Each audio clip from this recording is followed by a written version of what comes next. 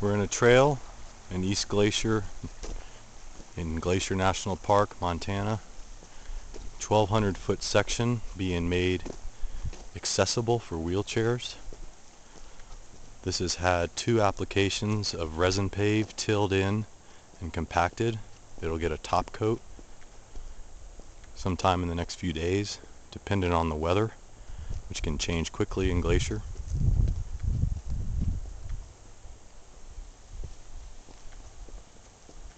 Resin, pine resin, with a little bit of acrylic mixed into the dirt. With a top coat can harden up and provide a good surface for walking, wheelchairs, not getting muddy when it rains so the wheelchairs won't sink in like they do on packed gravel. And is an alternative to materials such as asphalt which is mainly crude oil and gravel which has many negative side effects. Things like global warming, resource conflicts, and health effects when the asphalt and especially the top coat sealers wash into adjacent vegetation and waterways.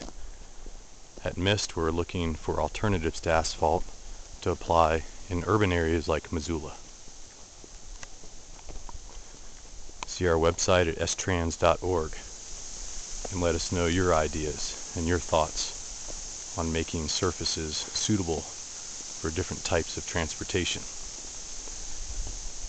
Remaining environmentally friendly to the surroundings, people, animals, our resources.